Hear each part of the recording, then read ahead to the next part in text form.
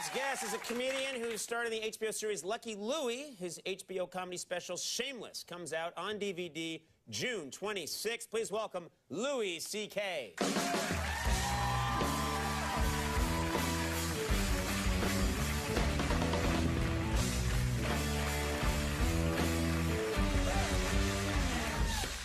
Now, Louis, uh, we've known each other a long time. I haven't, I haven't True. spoken to you in a couple of months. How are a you? I'm all right. I'm uh, I'm fat. You're fat. Yes, I'm a great big fat person. no. It's just been I'm growing fatter. I here's like I just weighed myself and I'm 240. Mm-hmm. I, I you know how doctors have like a formula for rule of thumb how to figure what your optimum weight is. I'm pretty sure it's not your age plus 200 pounds. That's Could possibly be. Really I don't know. fat. I haven't looked into it. a fat dude. Yeah. Well, well, how was? Let's talk about something cheerful then. How was your Sure. Father's Day? Must Father's Day must have been. Uh, well, yeah, I got to spend it with my kids, which Yeah. you know, Yahoo.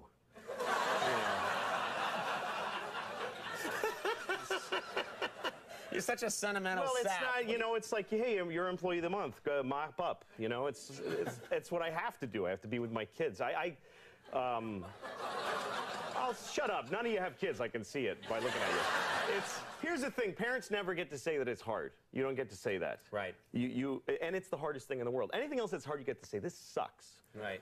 But when you're a parent, first of all, it's impossible. You make cons- mis- huge mistakes constantly, like, oops, irreversible damage there, move on. You know, just huge mistakes. you don't get to sleep anymore. You don't have sex anymore. You eat standing up and fast. Uh, the entire nation depends on our success as parents. Yeah. And you don't even get to say it sucks. You have to say stuff like, I couldn't even imagine my life without my children. I can totally imagine my life. Really? That's actually all I ever do is imagine my life. Really? Without, and it's not a big fantasy. I'm not in the World Series of Poker. I'm not. In, I'm, I'm just sitting in a chair, jerking off and eating chocolate. That's really it. That's all. Lord. Uh, okay. Well, well, listen. Yes, you bring up a good point. Uh, parenting is definitely very hard work. There's well- I have two kids, and I know that it's very hard work. Well, like if you get sick, nobody cares. You, you can't call in sick to having kids. Right. As a matter of fact, if you get sick, your your spouse hates you for being sick. Because it's just making their life harder. And I'm the same way. Like my wife, one time she's like, I have diarrhea. all- I had diarrhea all night. I'm staying in bed. And I'm like, let me see it. I want to see the diarrhea. Show me at least a cup of diarrhea if you want to stay in bed. There's just no way I'm taking it on faith and spending all day with the kids by myself. I'm just not. And she's the same way. Like I had a stomach flu. It was real. I, I was so sick, just deathly sick. And I, well, you know, my stomach hurt a Yeah, lot. yeah. And she's like, "No, no, get out, get out of bed. Let's go. You know, you stayed up all night. It's your fault. Let's go." And I have to amp up how sick I think I am to Right, get in. sure. I'm like, I'm, no, I, I'm really sick. I might have internal bleeding right now. And so she says, "Well, go to the hospital if it's that bad." Sure. And I did. You True did. story. You did. I went to a hospital. Just to try and I prove went it. into the emergency room and I said, um, I got a stomach ache. My wife doesn't care. And, uh, and they admitted me. Because at the emergency room, they don't go like, get out of here, you pussy. They, they whatever you have, you can go in a hospital and say like, I just feel icky. I just feel weird. And they, they have to. Put a bracelet on you and fill out a thing, Right. Whatever. And so this doctor, this wonderful doctor, she gave me morphine in my arm. Uh, She gave me a drip of morphine. Really? And uh, which you know was great. And then. Uh, And then she so, sent me home with, with um, opiate suppositories, which is a huge dilemma to me. Okay. Because I like opium. It's, who doesn't? It's perfect. It's the greatest thing ever. Yeah.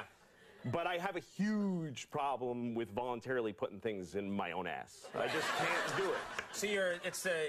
It's a. It's a battle of wills Yeah, here. Which. uh, and I'm in the bathroom with my pants in my ankle, and I'm like sweating and shaking, and I'm got little tiny thing. I'm like talking to myself, just do it, just come on. I don't want to do it. Finally, I cram it in there, and I think that was probably the greatest moment of my entire life. really? Yes, because it's pure opiate pleasure that begins at your anus. It just explodes. just this warmth that starts at the ground Yeah, yeah. zero that is your ass, and you just go, oh God, that is good. More things in my ass, please. Ah, was Okay then. So, so that's what it. That's that's what it's like having kids. Yeah.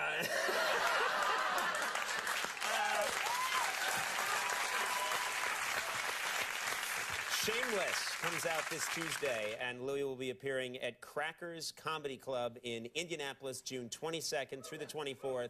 Louis C.K. Thank you. Thanks for stopping by. We'll be right back. The Mooney Suzuki. Stick around.